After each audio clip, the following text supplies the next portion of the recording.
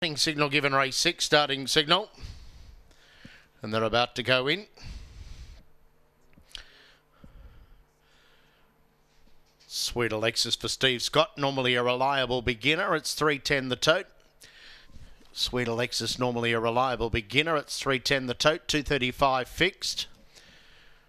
As they move forward, 550 Arabella, second pick. Green light, set for the six to Dippy.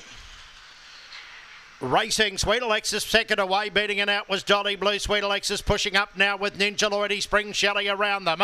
Followed then by Elite March, two beers. Well back and deep, Arabella and Spring Crusher at the tail, running off the back. Dolly Blue joined by Sweet Alexis at them. Three wide, Spring Shelley, Ninja Lloydie behind them. Running into it was Arabella. They shuffle to the turn. Sweet Alexis in front, Ninja Lloydie back to the inside. Sweet Alexis drawing clear, favourite too good. Sweet Alexis beat Ninja Lloydie, Arabella third. Spring Shelley fourth, followed by Elite Marge, then Dolly Blue, Spring Crusher, two beers last in around 25 8.